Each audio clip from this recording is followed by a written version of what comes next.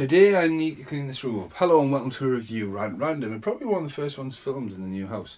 And I'm not going to try and do loads lately. I've got a lot of stuff to do, especially fix that light bulb. Light. Um, but last night I haven't slept well. I watched Wall Street. Not really much to share about Wall Street. So at the end of that, I want to watch Wall Street too. There maybe rant about them, but maybe not. Um, I watched The Frankenstein Theory. the Frankenstein Theory.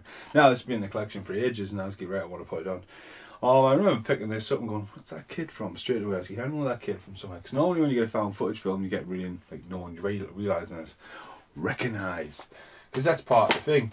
And with found footage films, it's always, it's always inventful, for how it's going to be filmed. Like again, going to exists. I love existence and the podcast for it.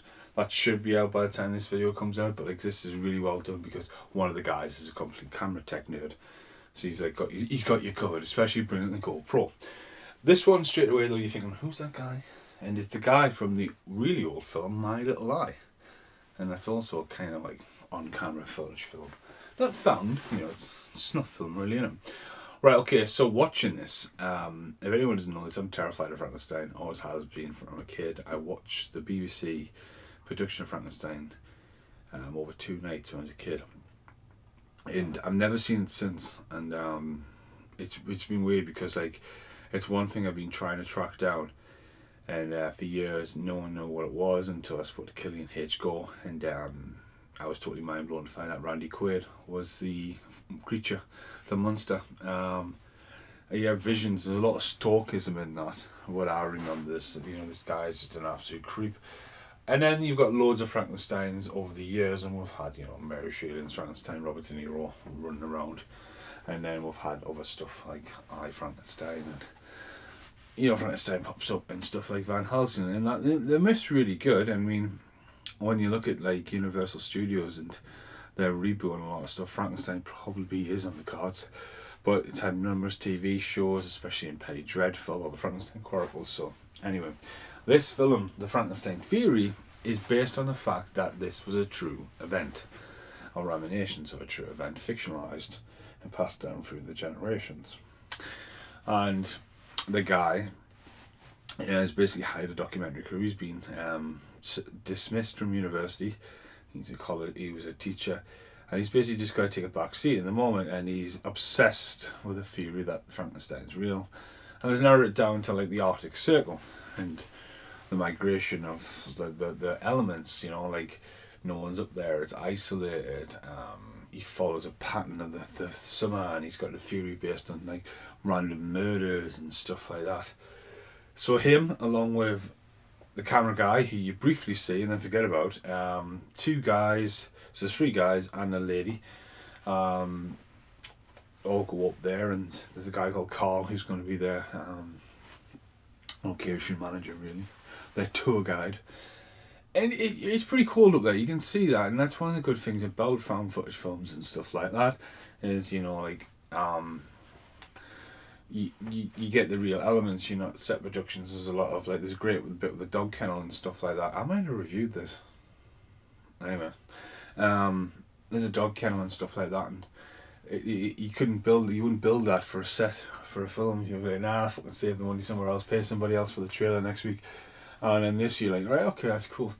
And um, as I say, you're watching it and you're getting in there, and like he starts laying it thick about why, and you know they get isolated quite quickly.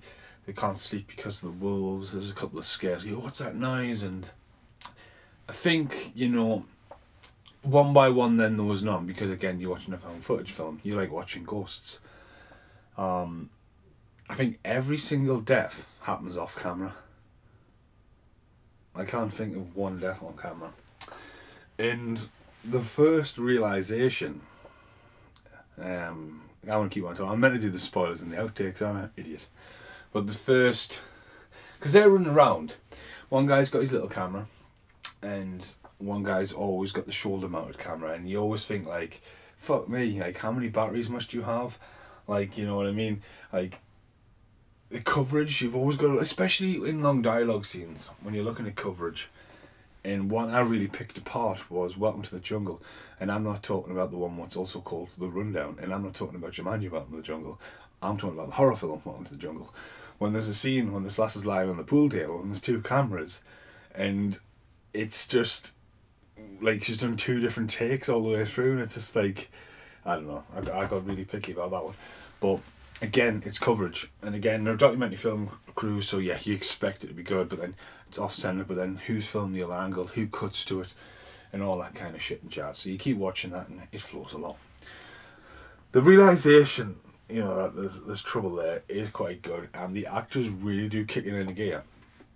And what's really startling about this is the real when they fucking see it for the first time, and the riff's true. It's fucking huge.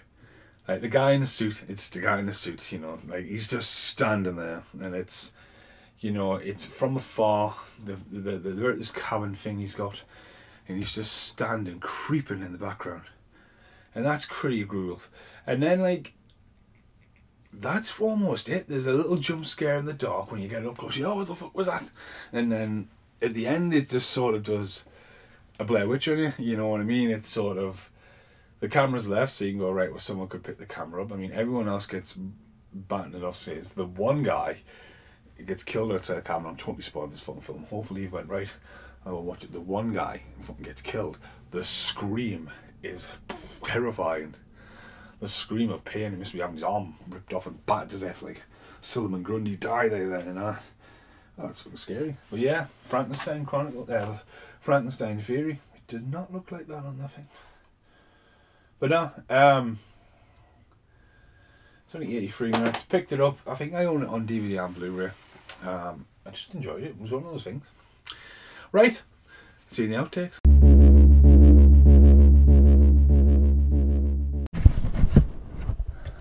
That's definitely you bastards not being on that shelf. That's an outtake. They nearly went south. The deep south. I need to review that as well. Here in the outtakes, you can see I nearly smashed my um, Banana Men from the one and only Chris Angel. Oops. No, as I say, I remember that Frankenstein film, and um, the one time I've ever physically had it was recently in New Zealand. So, quick outtake um, for this is my brother Sam was at the top of the hill of Wellington, and then at the bottom of the hill there's this video shop. Now, while I was in Motueka, which is on the other island, um, I found ones of old VHSs. And funny story is, I posted them, and they still haven't got here from New Zealand. But um, when I posted these VHSs on Facebook, some guy said, "Oh, why don't you come here while you're here?" So Wellington's a big city, and it is windy, windy city, whatever. And it's all like uphill. You do some miles uphill and it's like a, a port as well. So there's a lot of you know there's a lot going down. It's a capital. Weta Studios went there and stuff, but like when we went to Weta Studios, Sam had to drive all the way across Wellington. I mean, when we walked walked to the zoo, that was epic. It was funny story as well. I'm Sam Run. Check out Aotearoa, my show. Welcome to the land, land of the long white cloud. Got up in the morning. Me, Callum, and Britt walked all the way across Wellington to the zoo and when we got there, Sam was there, but Sam had gotten them on, but Sam had to do errand runs for his work. Uh, so we had this massive walk, and there was um, Sam on the way back. And I think that's when we went to Weta, and that was a good, like, good drives around. So stuff we wanted to do, like the zoo and Weta. And then there was this guy who said, "Come to this like video shop." He's Sam's house, bottom of the hill, and it looked like something out of the eighties. It survives. If it doesn't have it on Blu-ray, it still has a DVD If it doesn't have it on the DVD, it still has it on VHS. And again, check out the show. It's later on, the episode's like episode 10 or 11. Um, and I go there and I'm just in my element. And like downstairs, walking in videos, upstairs, VHSs everywhere. And then on the bottom shelf was Frankenstein. Read the book of course, Sam didn't have a VHS player. We were only there overnight, really. So kind couldn't like, oh, take it back, watch it and scare it. I just looked at it and like instantly felt cold uh, flashbacks of the movie and stuff like that, and it's terrifying. That's the one film that got me as a kid. Frankenstein, Randy Quaid, Laughing Man, same guy. Um, yeah, so that's our take. Thanks for watching. Goodbye for now.